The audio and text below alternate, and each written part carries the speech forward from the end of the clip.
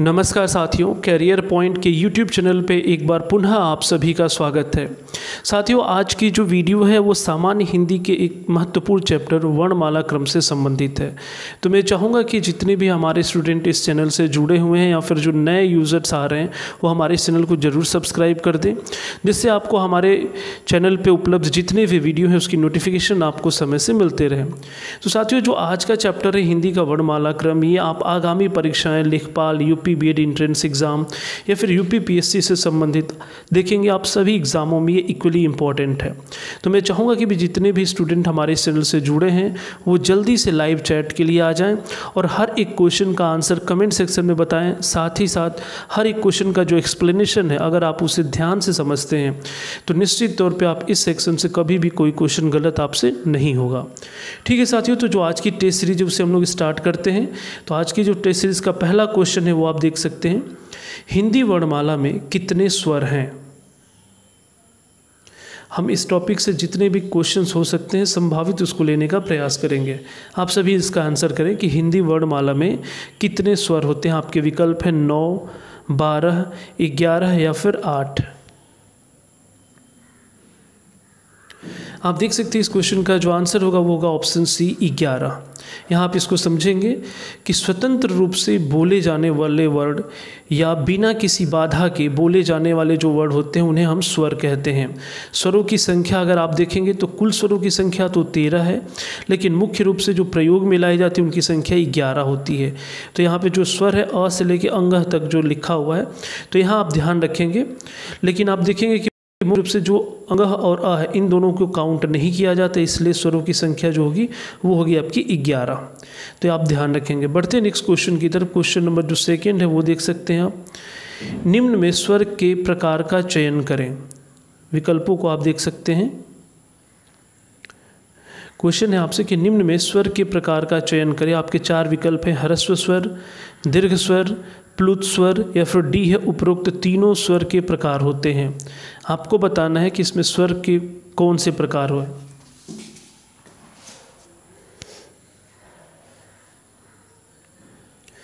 Question second है जो साथियों, इसका जो आंसर है वो आप देख सकते हैं। इसका आंसर है ऑप्शन डी, उपरोक्त तीनों स्वर के प्रकार होते हैं। यहाँ आप समझेंगे कि जो स्वर होते हैं, कहा जाता है कि जिनको बोलने में किसी की मदद की आवश्यकता नहीं होती, ये स्वतंत्र इकाई होते हैं स्वर। और इनके तीन प्रकार होते हैं, हरस्व स्वर, दीर्घ स्वर और प्लुत स्वर। तो यहाँ इस क्वेश्चन का जो आंसर होगा, वो होगा ऑप्शन डी। बढ़ते हम अपने नेक्स्ट क्वेश्चन की तरफ़। क्वेश्चन नंबर जो थर्ड है, वो देख सकते हैं आप। हिंदी वर्णमाला में निम्न में हरस्व स्वर के कौन से वर्ड आते हैं? पहला ऑप्शन है, आप देख सकते हैं ऑप्शंस को देख सकते हैं और इन चारों ऑप्शन में से आपको बताना है कि हिंदी वर्णमाला में निम्न में से कौन सा हरस्व स्वर का उदाहरण है।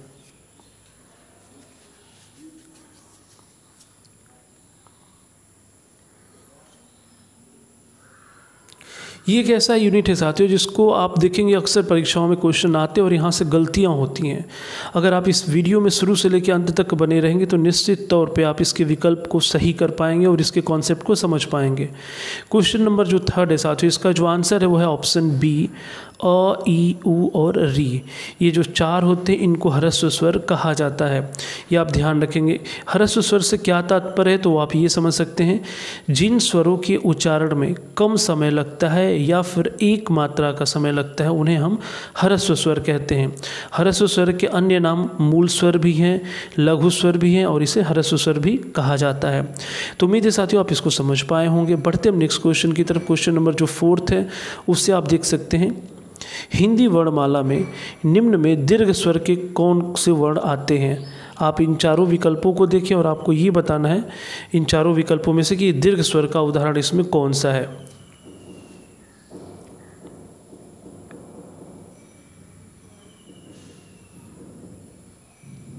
आप यहाँ देख सकते हैं जो क्वेश्चन नंबर फोर साथ साथियों, इसका जो आंसर है वो है आपका ऑप्शन ए यहाँ पे जो देखेंगे सात हैं, दो दो, चार, दो छः एक, सात, आ, ई ऊ ए ओ और औ।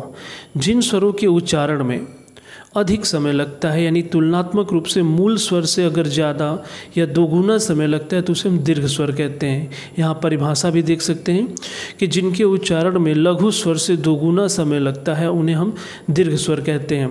तो आप ध्यान रखेंगे, मूल स्वर जो होते हैं या हरस्व स्वर, उनकी संख्या है चार, जबकि दीर्घ स्वरों की संख्या कितनी है? सात।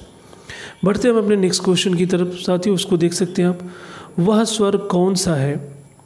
जिसके उच्चारण में दीर्घ स्वर से अधिक समय लगता है, लगभग तीन मात्राओं के बराबर का समय लगता है। इसे त्रिमासिक स्वर भी कहा जाता है। आपके विकल्प हैं, अग्र दीर्घ स्वर, पश्च दीर्घ स्वर, प्लूत स्वर या फिर डी ऑप्शन है, उपरोक्त में से कोई नहीं। एक बार आप क्वेश्चन और विकल्पों को ध्यान से देखिए फिर अपने अपने आंसर कमेंट सेक्शन में बताएँ।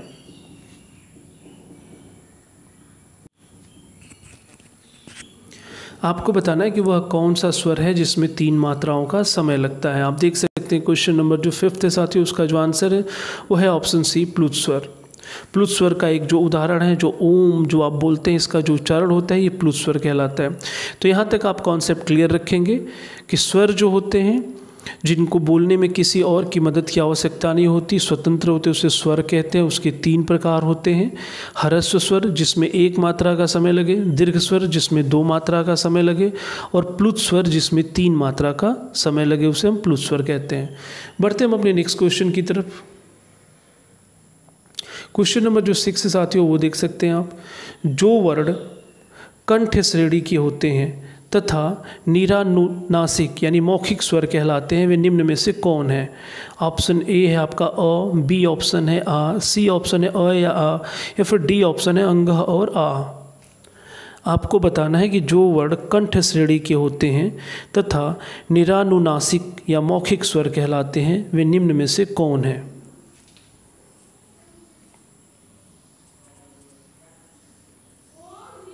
आप वर्णमाला क्रम के अगर हर एक अक्षरों का उच्चारण समझेंगे तो आप आंसर इसका ज़रूर कर सकते हैं। आप देख सकते हैं, क्वेश्चन नंबर जो सिक्स है साथियों इसका जो आंसर है वो है आप, आपका ऑप्शन डी अंग और अ। क्योंकि इन स्वरों का जो उच्चारण स्थान है, वो कंठ होता है। तो आप इन चारों विकल्पों में जो डी ऑप्शन है, इसको आप देखेंगे, ये कंठ स्वर के अंतर्गत आएगा। बढ़ते हैं नेक्स्ट क्वेश्चन की तरफ़। क्वेश्चन नंबर जो सेवेंथ है, उसे आप देख सकते हैं। निम्न में वर्णमाला के आधार पर स्वर के प्रकार का चयन करें। अग्रस्वर मध्य स्वर पश्च स्वर या फिर उपरोक्त में से सभी। आपको वर्णमाला क्रम के आधार पर स्वर के प्रकार का चयन करना है।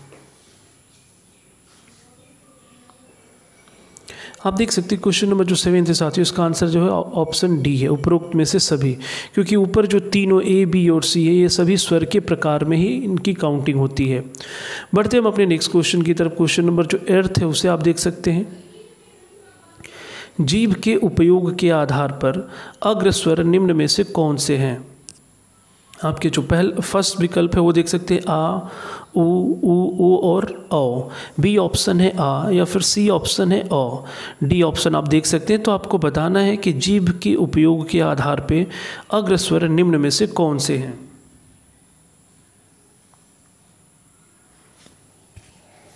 आज की जो हिंदी की टेस्ट सीरीज़ है साथियों, इसमें हमने महत्वपूर्ण आपके लिए तीस प्रश्न लिए हैं, जो कि आप इस चैप्टर से अब इनसे अधिक क्वेश्चन कहीं नहीं देख सकते और आप यहाँ पे अगर इन तीन प्रश्नों को सही ढंग से कर लेते हैं तो फिर वर्णमाला क्रम से आपके कोई भी क्वेश्चन गलत नहीं होंगे। क्वेश्चन नंबर जो एर्थ है साथियों, इसका जो आंसर है वो है ऑप्शन डी आप देख सकते हैं यहाँ पे, और यहाँ एक चीज़ ध्यान रखेंगे कि अग्रस्वर किसे कहते हैं तो इसका अर्थ होता है अग्रसर वे होते हैं जिनका उच्च, जिनके उच्चारण में जीभ का अगला भाग कार्य करता है।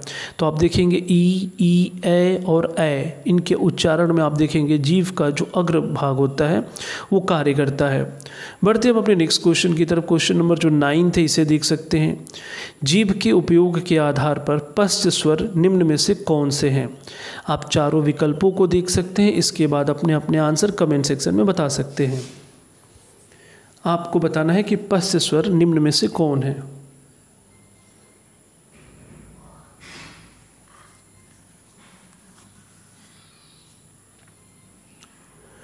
क्वेश्चन नंबर जो नाइन्थ है साथियों इसका जो आंसर है वो है ऑप्शन ए जो ऑप्शन ए के जितने भी अक्षर हैं, आप देख सकते हैं उन्हें। इनका उच्चारण जीभ के पिछले भाग से होता है। अतः इन्हें पश्च स्वर कहा जाता है। तो यहाँ आप एक बात क्लियर रखेंगे। जीभ के अगले अगले भाग से जो बोला जाता है, उन्हें अग्र स्वर कहा जाता है और जो पिछले भाग से बोला जाता है, उन्हें पश्च स्वर कहा जाता है। आप इनके उच्चारण आ, उ ऊ ऊ और और आ। ये जितने भी अक्षर हैं, इनके उच्चारण में आप देखेंगे जीभ का जो पिछला हिस्सा है, वो कार्य करता है। इसलिए क्वेश्चन नंबर जो नाइन्थ है साथियों, इसका जो आंसर है, वो है आपका ऑप्शन ए बढ़ते हम अपने नेक्स्ट क्वेश्चन की तरफ़। क्वेश्चन नंबर जो दस है, वो देख सकते हैं आप। मुख खुलने के आधार पर विवृत स्वर वर्ण कौन सा है? आपके विकल्प हैं ए ए ओ या फिर आ। आप इन चारों विकल्पों में से बताएँ कि विवृत स्वर्ण वर्ण कौन सा है?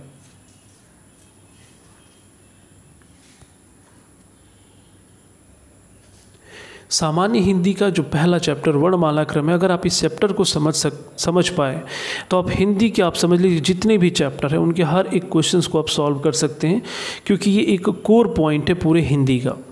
क्वेश्चन नंबर जो दस है साथियों इसका जो आंसर है, वो है ऑप्शन डी आ आप देख सकते हैं विवृत किसे कहा जाता है तो आप ये भी समझ लीजिए, जिनके उच्चारण में पूरा मुख खुलता है, उसे विवृत स्वर कहा जाता है। इन चारों विकल्पों में जो डी ऑप्शन है, अगर आप इसका उच्चारण करते हैं तो आप खुद इस चीज़ को देख सकते हैं कि इसमें आपका पूरा मुख खुलेगा। इसे ही हम क्या बोलते हैं? विवृत स्वर कहते हैं। बढ़ते हैं नेक्स्ट क्वेश्चन की तरफ़। क्वेश्चन नंबर जो ग्यारह है, जो कि बहुत ही इंपॉर्टेंट क्वेश्चन है पेपर के अकॉर्डिंग देख सकते हैं आप, अयोग वाह वर्ण निम्न में से कौन से है? आप चारों विकल्पों को देख सकते हैं और आपको बता बताना है कि अयोग बहवर्ड कौन से हैं।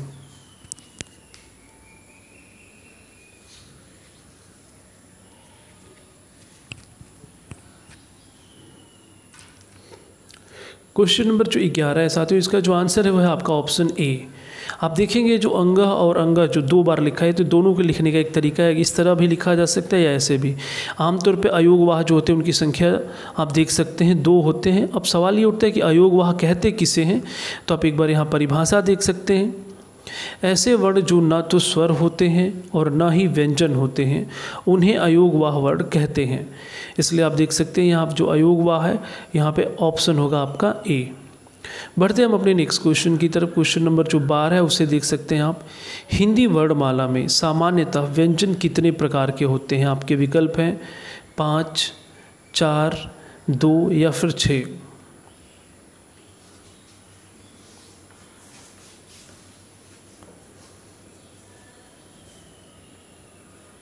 क्वेश्चन नंबर जो बारह है साथियों, इसका जो आंसर है वो है ऑप्शन डी छः। आप देखेंगे सामान्यतः व्यंजन जो होते हैं वो छः प्रकार के होते हैं। यहाँ आप इसके डिटेल को देखेंगे तो आप इसको समझ पाएँगे। जो व्यंजनों की संख्या होती है, वो होती है इकतालीस। यहाँ पे आप ध्यान रखेंगे, जो छः उसके प्रकार हैं, वो हैं स्पर्श व्यंजन, अनुनासिक व्यंजन, अंतस्थ व्यंजन, उष्म व्यंजन, उत्क्षिप्त व्यंजन और छठा है संयुक्त व्यंजन। आप ध्यान रखेंगे, इन जो छः प्रकार है व्यंजन के, इनसे संबंधित प्रश्न आगे आने वाले हैं। तो वहाँ इनके कॉन्सेप्ट को और भी हम क्लियर कर लेंगे। फ़िलहाल में आप ये समझें, व्यंजन के जो मुख्य होते हैं, वो छः प्रकार होते हैं। बढ़ते हम अपने नेक्स्ट क्वेश्चन की तरफ़। क्वेश्चन नंबर जो तेरह है, उसे आप देख सकते हैं। स्पर्श व्यंजन कितने होते हैं? आपके जो विकल्प हैं, वो देख सकते हैं आप। पहला विकल्प है सत्ताईस, दूसरा विकल्प है छब्बीस, तीसरा विकल्प है तीस, या फिर चौथा विकल्प है तेईस। आपको बताना है कि स्पर्श व्यंजन की संख्या कितनी है।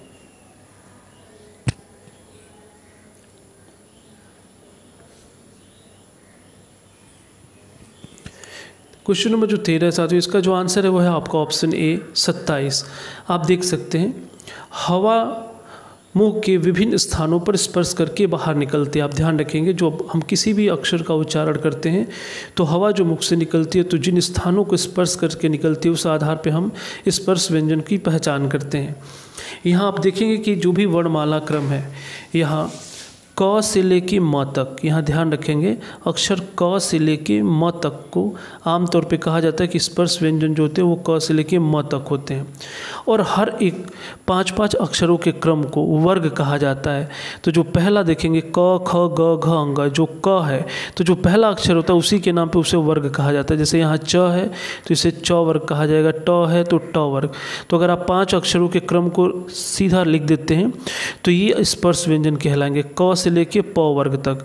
और इसके अतिरिक्त दो अक्षर जो ड और ड होते हैं, इन्हें भी इन्हीं के अंतर्गत माना जाता है। तो पाँच वर्ग है तो पच्चीस हो गए, और दो अतिरिक्त हो गए तो टोटल कितने हो गए? सत्ताईस। तो आप ध्यान रखेंगे यहाँ पे, जो स्पर्श व्यंजन की संख्या है, वो होती है सत्ताईस। उम्मीद है आप इसे समझ पाए होंगे। बढ़ते हम नेक्स्ट क्वेश्चन की तरफ़। क्वेश्चन नंबर चौदह देख सकते हैं आप। अनुनासिक व्यंजन कितने प्रकार के होते हैं? आपके विकल्प हैं चार, तीन, पाँच या फिर छः। आपको बताना है कि अनुनासिक व्यंजन कितने होते हैं?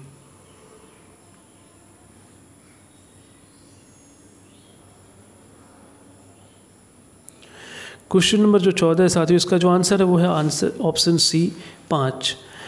अनुनासिक व्यंजक या इसे नासिक के व्यंजन भी कहा जाता है, आप ध्यान रखेंगे। वर्णमाला के प्रत्येक वर्ग का जो पांचवा अक्षर होता है, वो उसे हम अनुनासिक व्यंजन कहते हैं। यहाँ पे आप देख सकते हैं, इसे यम गणनम बोला जाता है। तो ये जो पाँच अक्षर हैं, जो ऊपर क्वेश्चन में, आप देखेंगे, जो वर्ग थे, उसके पाँचवें अक्षरों को देख सकते हैं आप। तो क वर्ग में लास्ट में ग है, च में य है, ट में ड़ है, त में न है, तथा प में म है। तो ये जो पांचवा अक्षर है, उसे ही हम अनुनासिक व्यंजन कहते हैं। उम्मीद है आप इसे समझ पाए होंगे। बढ़ते नेक्स्ट क्वेश्चन की तरफ़। क्वेश्चन नंबर जो पंद्रह है, वो देख सकते हैं आप।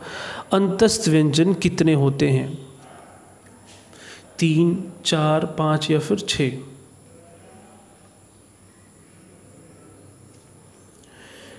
क्वेश्चन नंबर जो पंद्रह है साथियों, इसका जो आंसर है वह ऑप्शन बी चार। अंतस्थ व्यंजन जो होते हैं, चार, उन्हें आप देख सकते हैं, य, र, ल, व। ये जो चार अक्षर होते हैं, इन्हें हम अंतस्थ व्यंजन कहते हैं। क्वेश्चन नंबर जो सोलह है, उसे देख सकते हैं आप उसमें व्यंजन कितने होते हैं? यहाँ से आप सभी जल्दी जल्दी क्वेश्चन के आंसर करते रहें। देखिए, क्वेश्चन नंबर जो सोलह है, साथियों, इसका जो आंसर है, वो है आपका ऑप्शन सी, चार। उसमें व्यंजनों की संख्या भी चार है। आप देख सकते हैं, श श श और ह। ये जो चार हैं, इन्हें हम उसमें व्यंजन कहते हैं। नेक्स्ट क्वेश्चन की तरफ़ बढ़ते हैं। क्वेश्चन नंबर जो सत्रह है, उसे देख सकते हैं आप। उत्क्षिप्त व्यंजन कितने होते हैं? क्वेश्चन नंबर सत्रह आपसे है कि उत्क्षिप्त व्यंजन कितने होते हैं? आप चारों विकल्पों को देख सकते हैं। पहला विकल्प है तीन, दूसरा है दो, तीसरा है तीन या फिर चौथा है चार। आपको बताना है कि उत्क्षिप्त व्यंजन कितने होते हैं।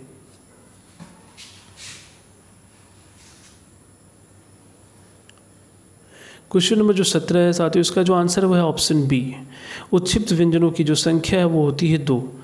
आप इसे ऐसे समझेंगे कि ऐसे व्यंजन जिनके उच्चारण में जीभ ऊपर उठकर झटके के साथ नीचे को आए। इसमें दो अक्षर आप देखेंगे, ड ड। इसमें आप देखेंगे जीप का जो उच्चारण है, आप इसको एक बार बोल के भी देख लेंगे तो आपको परिभाषा स्पष्ट रूप से समझ आ जाएगी। तो जो उत्क्षिप्त व्यंजन है उनकी संख्या है दो। ये ध्यान रखेंगे आप। बढ़ते हैं नेक्स्ट क्वेश्चन की तरफ़। क्वेश्चन नंबर जो अट्ठारह उसे देख सकते हैं। संयुक्त व्यंजन के वर्ड बताएँ। ये चार विकल्प दिए गए हैं और आपको बताने इसमें से कौन से संयुक्त व्यंजन के वर्ड हैं।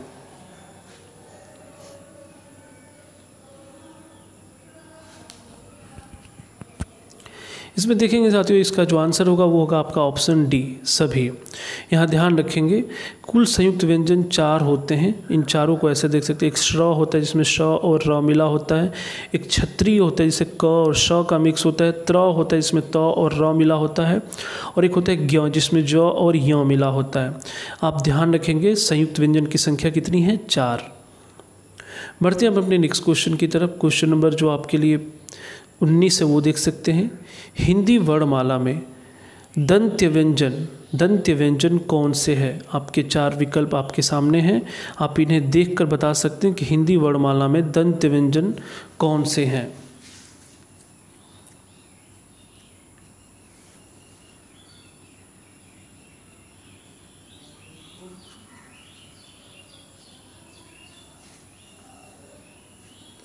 क्वेश्चन नंबर जो उन्नीस, इसका आंसर जो है वो है ऑप्शन सी त, थ, द, ध, न। इनके उच्चारण को अगर आप करेंगे तो आप देखेंगे दंत से तात्पर्य होता है ऊपरी दांतों के निकट से, दांतों के प्रयोग से बोले जाने वाले वर्ड दंत कहलाते हैं। अतः दांत व जीव के स्पर्श से बोले जाने वर्ड दंत व्यंजन कहलाते हैं। आप देख सकते हैं जो त वर्ग है, उसके जितने भी सदस्य हैं, त, थ, द, ध, न। और ल स ये भी एक दो एक्स्ट्रा जो है, इनको अगर आप उच्चारण करेंगे तो ये सभी दंत व्यंजन के अंतर्गत आएँगे। साथियों, आज की जो वीडियो इसे आप ज़रूर दो से तीन बार देखेंगे, तभी जाके आपको इसके कॉन्सेप्ट क्लियर होंगे। क्योंकि बाकी हिंदी के चैप्टर इतने क्लिष्ट नहीं हो सकते या इतने टफ नहीं है जितना कि वर्णमाला क्रम है। यहाँ क्वेश्चन आप देख सकते हैं क्वेश्चन नंबर बीस। हिंदी वर्णमाला में मूर्धन्य व्यंजन कौन से हैं? आप चारों विकल्पों को देख सकते हैं और फिर आप बताएँ कि इसमें से मूर्धन्य व्यंजन कौन से हैं।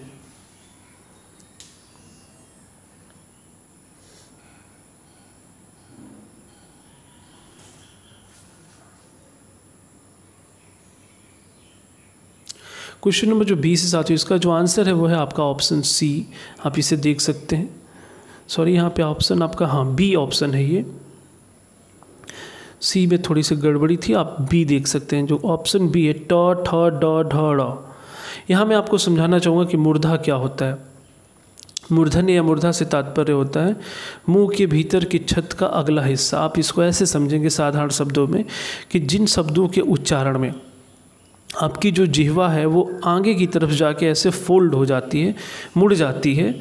आप इसे ऐसे ध्यान रखेंगे, अगर आपके मुख की जिहवा किसी वर्ड के उच्चारण में आगे जाके ऐसे फोल्ड होती है तो इसे हम मूर्धा कहते हैं। जैसे अगर आप ट को पढ़ेंगे तो ट को पढ़ के आप देख सकते हैं, ट बोलेंगे तो आपकी जीभ जो आगे की तरफ़ जाके ऐसे फोल्ड होगी। ठ, ड, ढ। तो इनमें जितने भी अक्षर इनके उच्चारण में आप देखेंगे, जिहवा आगे की तरफ़ जाके मुड़ती है, इसलिए इसे हम मूर्धा कहते हैं। क्वेश्चन नंबर जो 21 है, उसे देख सकते हैं आप। हिंदी वर्णमाला में ओष्ट व्यंजन कौन से हैं? आपके विकल्प हैं ऑप्शन ए, बी, सी और डी को आप देख सकते हैं। और आपको बताना है कि इसमें से ओष्ट व्यंजन कौन सा है, यानी इनके उच्चारण में होटो का इस्तेमाल होगा। आप देखेंगे, इनके प्रयोग में आप देखेंगे। तो आप देख सकते हैं विकल्पों के आधार पर क्वेश्चन का आंसर बताएँ।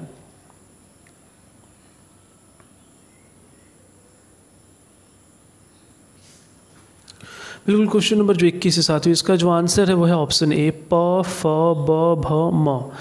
आप साथ के साथ जो भी मैं क्वेश्चन बोल रहा हूँ क्योंकि ये वर्णमाला क्रम उच्चारण के आधार पर है तो आप इनको बोल के भी देख लेंगे। दोनों ओठों के स्पर्श से जो ध्वनि बनती है, उसे ओष्ठ व्यंजन कहा जाता है। आप देखेंगे जो प वर्ग के जो सदस्य हैं, प, फ, ब, भ, म, एवं स्वरों में दो होते हैं ऊ और ओ इन दोनों के उच्चारण में ओठ स्पर्श होते हैं, इसलिए इन्हें हम ओष्ठ व्यंजन कहते हैं। बढ़ते नेक्स्ट क्वेश्चन की तरफ़। क्वेश्चन नंबर जो 22 है, उसे आप देख सकते हैं। हिंदी वर्णमाला में दंत्योष्ट व्यंजन कौन से, यानी दंत प्लस ओष्ट आपको बताना है कि हिंदी वर्णमाला में दंतोष्ट व्यंजन कौन से हैं? आपके चार विकल्प हैं। व, य, र या फिर ल। आपको बताना है कि इसमें दंतोष्ट व्यंजन कौन सा है। हिंदी के, मैं कोशिश करूँगा कि हिंदी के जितने भी इम्पोर्टेंट चैप्टर हैं, उन सभी का क्वेश्चन वीडियो मैं आपको बना के ज़रूर यहाँ शेयर करूँ। अगर आप उसके एक्सप्लेनेशन को समझेंगे तो हिंदी को समझने का ये सबसे आसान और सबसे बेहतर तरीका है। क्वेश्चन नंबर बाईस आप देख सकते हैं, साथियों उसका जो आंसर है, वो है ऑप्शन ए व दंत्योष्ट में होता है कि ऊपर के दांत तथा निचला ओट इसे ही दंतोष्ट बोला जाता है। तो व व अक्षर का आप उच्चारण करके एक बार देख लें। व अगर आप बोलेंगे तो आपको लगेगा कि ऊपर के दांत और जो निचला होठ है वो मिल रहे हैं। तो उसे हम दंत्योष्ट व्यंजन कहते हैं। क्वेश्चन नंबर तेईस आप देख सकते हैं। ये एक थोड़ा अलग क्वेश्चन है कि हिंदी वर्णमाला में वत्स्य व्यंजन कौन से हैं? आपके चार विकल्प दिए गए हैं। इनमें से आपको बताना है कि हिंदी वर्णमाला में वत्स्य व्यंजन कौन से हैं।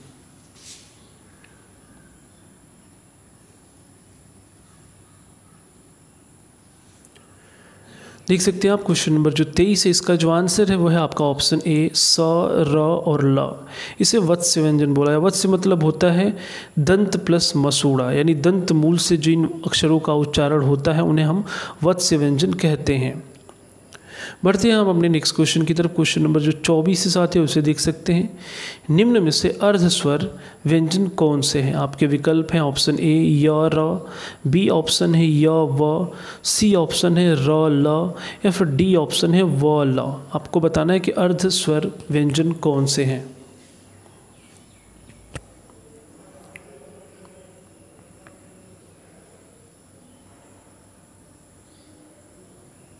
क्वेश्चन नंबर जो चौबीस से है, उसका जो आंसर है वो आप देख सकते हैं यहाँ पे। उसका आंसर है ऑप्शन बी, य, व। अर्ध स्वर व्यंजन जो होते हैं, वो दो होते हैं, य तथा व। इन्हें ध्यान रखेंगे आप। क्वेश्चन नंबर 25 की तरफ़ चलते हैं। ये बहुत ही इंपॉर्टेंट क्वेश्चन है। निम्न में से लुंठित व्यंजन कौन सा है? आपके विकल्प हैं, य, र, ल, व। आपको बताना है इनमें से लुंठित व्यंजन कौन सा है? आप जितने भी स्टूडेंट अगर आपने हमारी कोचिंग क्लासेस ज्वाइन की होंगी तो हमने हिंदी में आपको बहुत ही इंपॉर्टेंट ढंग से और बहुत अच्छे ढंग से आपको मैंने इसका पूरा एक्सप्लेनेशन दिया हुआ है। इसके अलावा जो भी साथी यूट्यूब चैनल से जुड़े हुए हैं तो आप हमारे प्लेलिस्ट के हिंदी सेक्शन में जाके वर्णमाला क्रम चैप्टर के वीडियो को देख सकते हैं, जहाँ पे मैंने हर एक पॉइंट को बहुत ही बेहतर ढंग से आपको समझाने का प्रयास किया है। तो आप निश्चित तौर पे इस वीडियो के कंप्लीट होने के बाद आप हमारे चैनल के प्लेलिस्ट में जाकर सामान्य हिंदी के सारे वीडियो को आप ज़रूर देखें। क्वेश्चन नंबर 25 का जो आंसर है साथियों, वो है ऑप्शन बी र र को लुंठित व्यंजन कहा जाता है। क्वेश्चन नंबर जो 26 है, ये देख सकते ये सब फैक्ट वाले क्वेश्चन है जिन्हें आप याद रखें। क्वेश्चन नंबर जो 26 है साथियों, इसका जो विकल्प है चारों, आप देख सकते हैं। निम्न में पार्श्विक व्यंजन कौन सा है? पार्श्विक व्यंजन कौन सा है? थोड़ा विकल्प छोटे हो रहे हैं, मैं उनको बोल दे रहा हूँ, आप सुन सकते हैं। य, व, र, ल। इन चारों विकल्पों में आपको बताना है कि पार्श्विक व्यंजन का उदाहरण कौन सा है?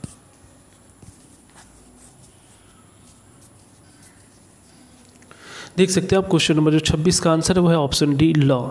जिनके उच्चारण में वायु का, वायु जीव के पास से निकलती है, उन्हें हम पार्श्विक व्यंजन कहते हैं। आप ल का उच्चारण करके देख सकते हैं, ल। तो लगेगा कि उच्चारण में वायु जीव के पास से निकलती है। बढ़ते हैं नेक्स्ट क्वेश्चन की तरफ़। क्वेश्चन नंबर जो सत्ताईस है, वो देख सकते हैं आप। निम्न में से नासिक के व्यंजन कौन से हैं? हालाँकि इस क्वेश्चन का ज़िक्र हम लोग शुरुआत के तीसरे या चौथे नंबर क्वेश्चन पे भी किए थे। इन चारों विकल्पों को आप देखें और फिर बताएँ कि इसमें से नासिक के व्यंजन या फिर अनुनासिक व्यंजन कौन से हैं।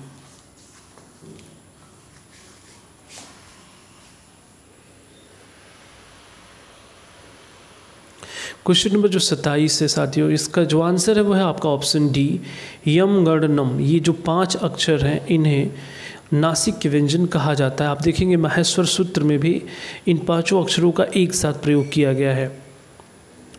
नासिक के व्यंजन आप देख सकते हैं पंचमा अक्षर क्वेश्चन नंबर अट्ठाईस की तरफ़ बढ़ते हिंदी के वे कौन से व्यंजन हैं जिनके वर्णों का उच्चारण करते समय केवल श्वास का प्रयोग किया जाए? उसे हम क्या कहते हैं? क्वेश्चन नंबर अट्ठाईस को आप देख सकते हैं। हिंदी के वे कौन से व्यंजन हैं जिनके वर्णों का उच्चारण करते समय केवल श्वास का प्रयोग किया जाता है?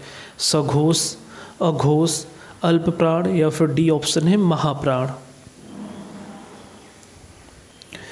मैं आपसे ये बार बार बता रहा हूँ कि अगर आप जितने भी ये विकल्प आ रहे हैं, इनके ऊपर अगर आपको डाउट है तो आप हमारे प्लेलिस्ट के हिंदी में ज़रूर जाकर वर्णमाला चैप्टर को देखें वहाँ पे आपको सारे डाउट्स दूर हो जाएँगे। क्वेश्चन नंबर जो अट्ठाईस है साथियों इसका जो आंसर है, वह ऑप्शन बी अघोष। आप देख सकते हैं, जिन ध्वनियों का उच्चारण करते, करने में किसी प्रकार का कंपन नहीं होता, यानी प्रत्येक वर्ग का जो प्रथम और द्वितीय वर्ण होता है, तथा फ, श श, ह, ये चार अक्षर अतिरिक्त, इनको हम अघोष वर्ण कहते हैं। बढ़ते नेक्स्ट क्वेश्चन की तरफ़ क्वेश्चन नंबर जो उनतीस है, वो देख सकते हैं आप। जिन व्यंजन वर्णों के उच्चारण में मुख से कम श्वास निकलती है, उन्हें क्या कहते हैं? महाप्राण व्यंजन अल्प प्राण व्यंजन प्राण व्यंजन या फिर उपरोक्त में से कोई नहीं। यहाँ ध्यान रखेंगे, प्राण से तात्पर्य होता है वायु की मात्रा।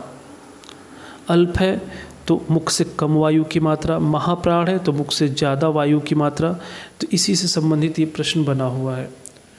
आप देख सकते हैं, क्वेश्चन नंबर जो उनतीस है, उसका जो आंसर है, वह है ऑप्शन बी, अल्प प्राण व्यंजन क्योंकि इसमें बोला है कि कम श्वास निकलती है तो अल्प मतलब थोड़ा होता है, इसे आप ऐसे याद रखेंगे। ऐसे व्यंजन जिनके उच्चारण के लिए कम अंत अंत प्राण वायु आवश्यक होती है। ये प्रत्येक वर्ग के प्रथम, तृतीय, पंचम अक्षर तथा अंतस्थ जो होते हैं, उन्हें हम अल्प प्राण कहते हैं। साथियों, आज की टेस्ट सीरीज़ का जो लास्ट क्वेश्चन है, उसे आप देख सकते हैं। क्वेश्चन नंबर जो तीस है, जिन व्यंजन वर्णों के उच्चारण में मुख से अधिक श्वास निकलती है, उन्हें क्या कहते हैं?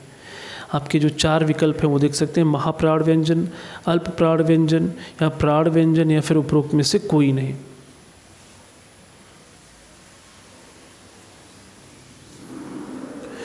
क्वेश्चन नंबर जो तीस साथियों इसका जो आंसर है वो है ऑप्शन ए, महाप्राण व्यंजन। महाप्राण यानी अधिक। वायु की मात्रा। तो यही आपसे क्वेश्चन पूछा था तो क्वेश्चन नंबर जो तीस है, इसका जो आंसर है, वो है महाप्राण व्यंजन। इसके एक्सप्लेनेशन को आप देख सकते हैं।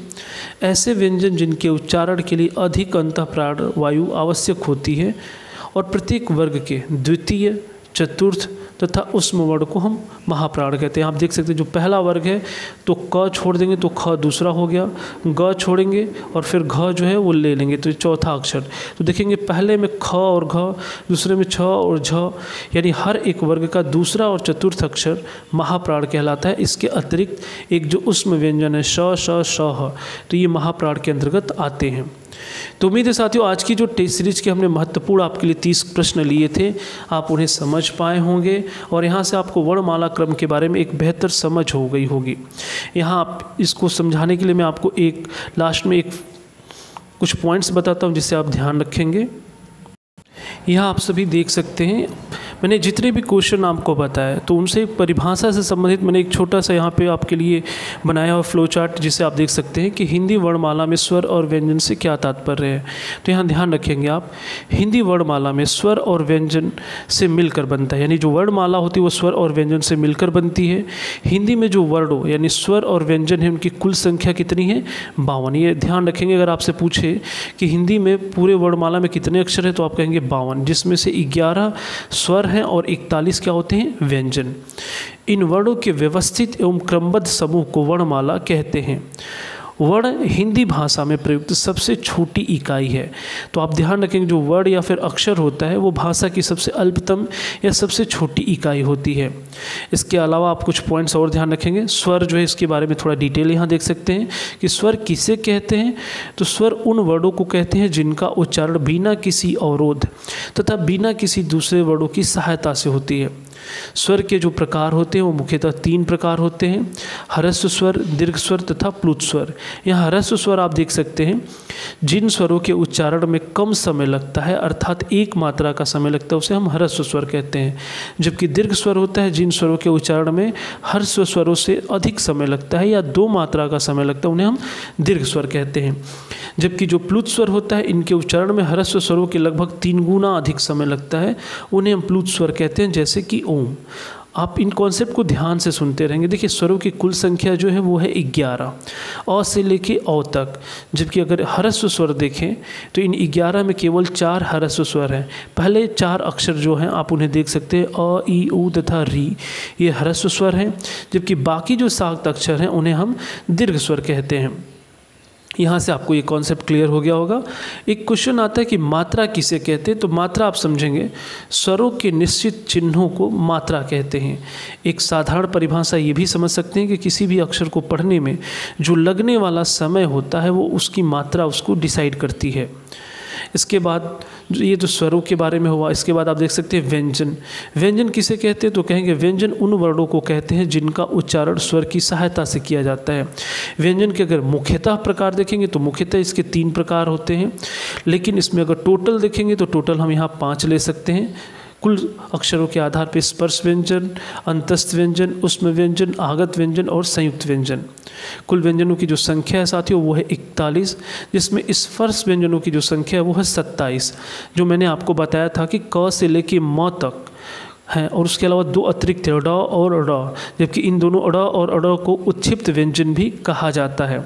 उच्छिप्त के साथ साथ इन्हें द्विगुण व्यंजन भी कहा जाता है। तो आप ध्यान रखेंगे, जो लास्ट के दो अक्षर हैं ये ये दो अतिरिक्त नामों से जाना जाता है इन्हें उच्छिप्त व्यंजन या फिर द्विगुण व्यंजन कहा जाता है, जबकि क से लेके जो म तक है, ये स्पर्श व्यंजन में मुख्य तौर पर आते हैं। तो स्पर्श व्यंजनों की संख्या कितनी हो गई? सत्ताईस। इसके अलावा अंतस्थ व्यंजन जो होते हैं, अंतस्थ व्यंजनों की संख्या होती है चार। य, र, ल, व। उसमें व्यंजनों की संख्या भी चार है। स स स, ह।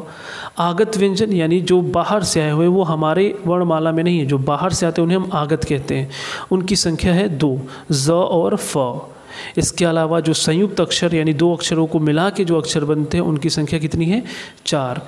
तो आप देख सकते हैं जो वो चारों अक्षर हैं, छत्री, छ, त्र ज्ञ और श्र इन्हें हम संयुक्त व्यंजन कहते हैं। तो उम्मीद है साथियों कि यहाँ पे आपको जो मैंने बताया वो क्लियर हो पाया होगा। एक पॉइंट और आता है जिसे अयोग वाह वर्ड कहते हैं। अंगह और अह, जो दो अक्षर होते हैं, इन्हें अयोग वाह कहा जाता है, जिसमें से अंगह को अनुस्वार और अंगह को विसर्ग भी कहा जाता है। यहाँ पे आप ध्यान रख सकते हैं कि जो अनुस्वार होते हैं, स्वर के बाद बोले जाने वाला जो हलंत होता है, वही अनुस्वार कहलाता है। जैसे कि प्रपंच, कंठ या फिर छंद, ये सब अनुस्वार हैं। विसर्ग होते हैं, जो कि महाप्राण सूचक एक स्वर होते हैं, जैसे प्रातः, अतः। तो ये जो अंत के दो मात्राएँ या जो बिंदु आते हैं, इन्हें हम विसर्ग कहते हैं। तो ठीक है साथियों तो मैं चाहूँगा कि यहाँ पे जो हमने वर्णमाला आपको बताया, वो पूरा क्रम आपको समझ आ गया होगा। जितने स्वर कितने होते हैं, व्यंजन कितने होते हैं, ये सारे कॉन्सेप्ट आप समझ पाए होंगे।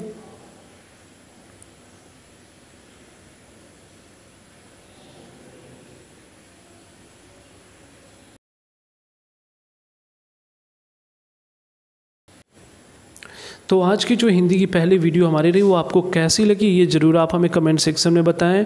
और वर्णमाला क्रम आप कितने बेहतर ढंग से समझ पाए हैं, आप इसके लिए आप वीडियो को दो से तीन बार ज़रूर देखें तो आप बेहतर ढंग से समझ पाएँगे। तो चलते चलते साथियों, हम चाहेंगे कि जितने भी स्टूडेंट अगर आपको हमारा ये वीडियो पसंद आया होगा तो आप ज़रूर हमारे यूट्यूब चैनल को सब्सक्राइब लाइक और शेयर करते रहें, जिससे अधिक से अधिक स्टूडेंट हमारे चैनल से जुड़ सकें। ठीक है साथियों तो आज के लिए इतना ही रहने देते हैं। अगले दिन हम हिंदी के एक नए टॉपिक के साथ, नए प्रश्नों के साथ आपसे दोबारा मुलाकात होगी। तब तक के लिए धन्यवाद। जय हिंद।